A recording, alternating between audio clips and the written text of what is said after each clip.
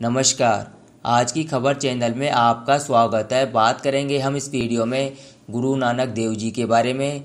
आज गुरु नानक देव जी की जयंती है। इसके बारे में हम आपको बताते हैं। सिख धर्म के संस्थापक गुरु नानक देव जी की आज 548वीं जयंती है।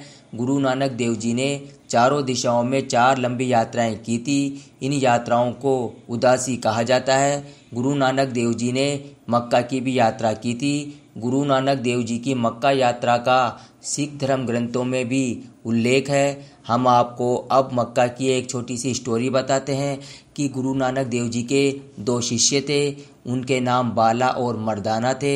मर्दाना ने गुरु नानक देव जी से मक्का जाने की इच्छा ज़ाहिर की। गुरु नानक देव जी अपने शिष्य मर्दाना के साथ मक्का की यात्रा पर चल दिए।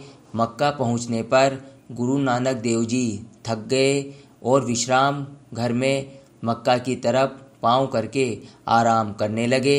यह देखकर हाजियों की सेवा करने वाला जियोन को गुस्सा आ गया। जियोन ने कहा, मक्का की तरफ़ पाँव मत करो। गुरु नानक देव जी ने कहा कि जिधर खुदा ना हो, उधर पाँव कर दो। जियो ने गुरु नानक देव जी का पाँव जिधर भी किया, उधर ही खुदा नज़र आने लगा।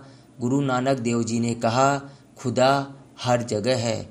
तो यह हमारी गुरु नानक देव जी की जयंती के ऊपर खबर। आप हमारे चैनल आज की खबर को लाइक और सब्सक्राइब करें। नमस्कार।